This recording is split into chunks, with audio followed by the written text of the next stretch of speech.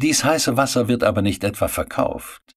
Oh nein, man begibt sich vielmehr in die große Trinkhalle und steht dort herum.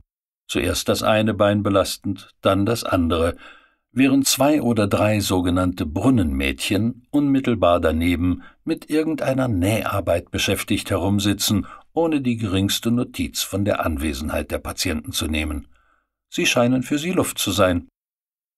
Allmählich erhebt sich eines dieser Mädchen mühsam und beginnt sich zu recken, streckt ihre Fäuste und den ganzen Körper gen Himmel, bis die Fersen nicht mehr den Boden berühren, und gähnt dabei auf so herzhafte Weise, dass ihr Gesicht komplett hinter der Oberlippe verschwindet und man beäugen kann, wie sie inwendig beschaffen ist.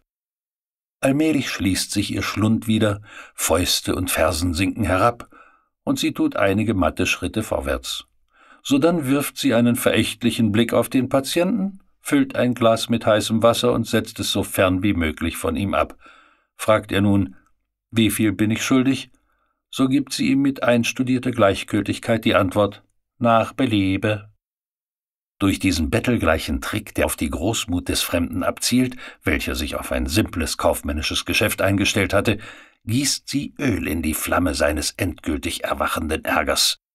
Er tut jedoch, als habe er ihre Antwort nicht gehört und erkundigt sich erneut, wie viel bin ich schuldig? Und sie erwidert ebenso ruhig und unverändert gleichgültig, nach Beliebe. Jetzt könnte sich der Ärger Bahn brechen, wenn der Fremde nicht den Entschluss gefasst hätte, ihn zu bezwingen und mit äußerlicher Ruhe so lange die Frage zu wiederholen, bis das Mädchen eine andere Antwort gäbe oder zumindest ein weniger gleichgültiges Wesen annähme. Sofern daher sein Fall dem meinigen gleicht, stehen die beiden sich nun wie zwei Narren gegenüber und führen mit scheinbarer Gelassenheit, sich sanftmütig anschauend, die folgende höchst eintönige Unterhaltung. Wie viel bin ich schuldig? Nach Beliebe. Wie viel bin ich schuldig?